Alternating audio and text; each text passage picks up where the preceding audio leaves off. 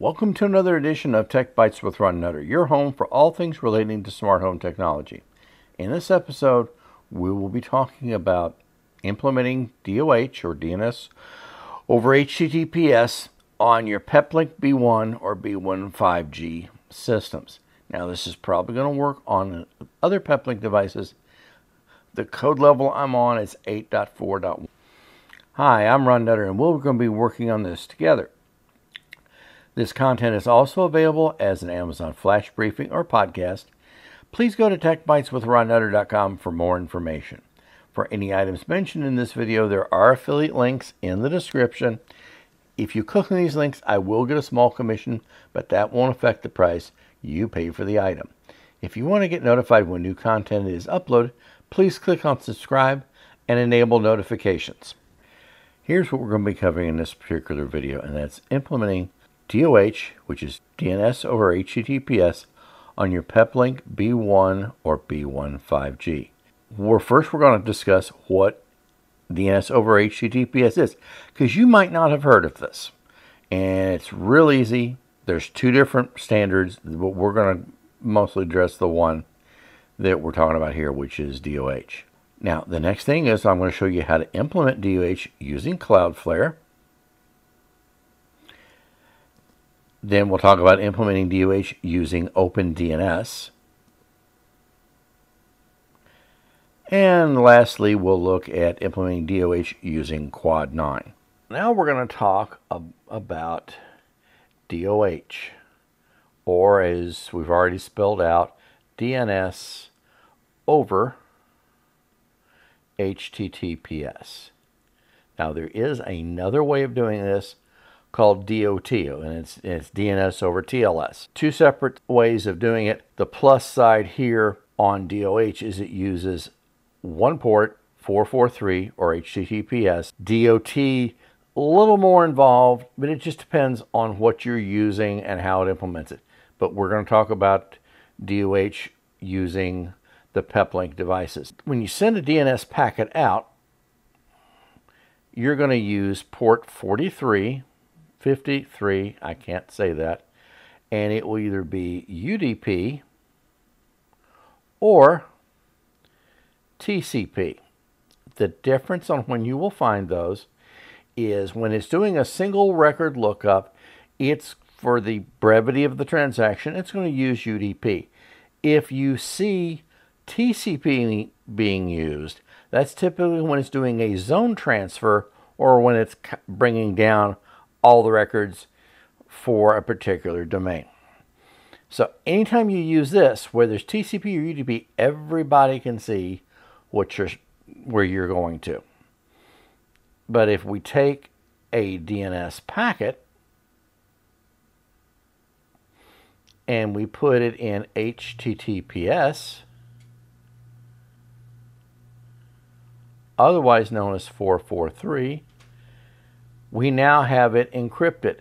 So it will be between you and the DNS servers that are set up to do this. And that's the, that's the whole secret. Basically, we're talking, uh, it's an IP wrapper. You may have heard that term before in other places. And all we're doing is taking an existing packet, wrapping it in 443, which encrypts it and keeps the average person from being able to see what's going on in this segment, we're going to show you how to set up DNS over HTTPS using Cloudflare. Now, make sure that you're on at least 8.4, and I'm thinking this may be 8.4.1. That's what I'm on, and that's the basis for what we're doing here. So we'll first go over here to the Network tab. Now, to me, when I saw nothing under this, I didn't proceed any further. Well, you kind of have to, because when you click on that, that's when you see DNS over HTTPS. So we'll click on the little pencil icon there. We'll click on enable and then the first thing that comes up is Cloudflare. So we'll click on save and then apply changes. Now, when you're doing any configuration change, if you've seen my other videos, you'll notice I talk about backing up the config before you make the change and then backing it up again after you make the change. I didn't do that here just to save some time. So it's you know, your your discretion how you want to do it, but just might want to err on the side of caution. Now, to test this, and this is the important thing, uh, Cloudflare has an option where you can go to 1.1.1.1.help, and you notice it translated it to 1.1.1 alphabetically. Now, here's what you need to look for. Is are you configured to talk to Cloudflare? Yes, you are. Right there. Okay. And are you using DNS over HTTPS or DOH? Yes. Are you using DOT? No. Warp? No. Now, Warp, if you haven't heard of it, that's Cloudflare's client, so you can use that. And that's the only time I've seen TLS activated. The and then when you get in down here, for somebody who's worked with BGP, this will mean something to you. It talks about the autonomous system name or how it does the routing, the AS number. That a company can have more than one AS number, and then the, where the nearest Cloudflare, where the nearest Cloudflare data center is. So that's it. Everything you're doing is now the DNS over HTTPS is going to kick in, give you a little more privacy.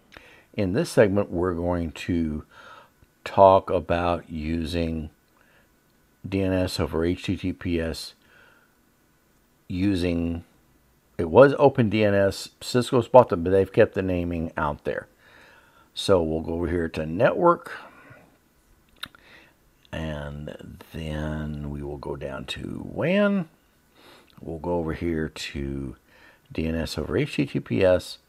We'll check the box and then we'll go down here to OpenDNS. Double check something here. Okay, yeah, OpenDNS. All right, I wanted to make sure I was looking at the right one. And then we will apply the changes. And then we'll go to the test page and this is umbrella.cisco.com forward slash DOH dash help. And I don't need that on the screen.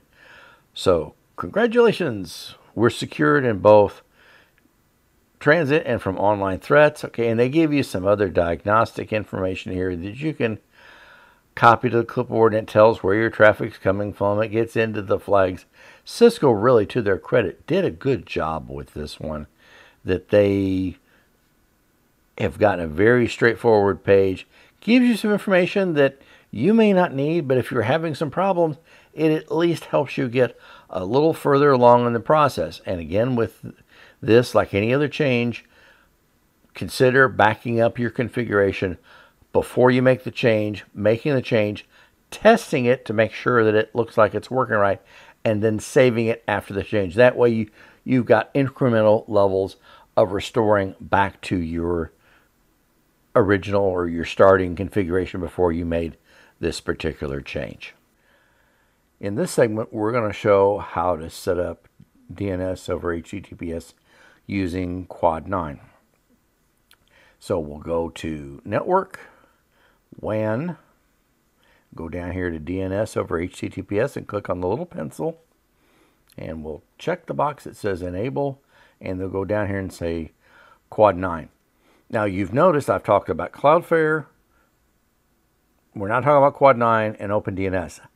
I am not going to be dealing with showing you how to set up Google DNS because I've tried for a week. I even opened up a ticket with Google DNS asking for diagnostic information, how you could verify it was working properly. Five days later, and I've not heard from them. So if I can't get diagnostic information to know it's working right, then I don't use it. So that's just my personal observation. So we'll click on Quad 9. We will click on apply changes or confirm or whatever it's saying. Okay, changes are applied. And let's just, now I'm going to show you one thing here. And this is the uh, docs.quad9.net they have a very substantial how to on this. And it goes over, you can dig into the block, you can see if there's a hijack being done of DNS information. It's they they really went out of their way. So since I'm on a Mac, I'm going to use that option because it, it tells you if you're using Windows or Mac. So I opened up a terminal and used dig plus short txt proto.on.quad9.net and it came back with DOH period. Okay, let's look up here and when you get DOH, because that's what we got was just DOH. Okay, that says using 443 TCP DNS over HTTPS. So you've got a very nice way. It's just a. It's not just. It's going a little bit more than to a website. And if we go over here to Windows, they have a PowerShell option that is also an option. So you have a Windows way to check it. Basically, Windows, Linux, they've got you covered. So this is now you've seen three different ways of doing DNS over HTTPS. Give this a try. It's just one more layer of keeping people from sniffing what's going on with your DNS. If you're watching this on YouTube, you're going to see videos on the screen that are similar to the one you've just watched or other content that YouTube thinks you might be interested in. If this video helps you or provides value, please click on the like button, thumbs up. If you haven't already subscribed to the channel, please click on subscribe now and enable notifications. We'll see you in the next episode. Thanks for watching.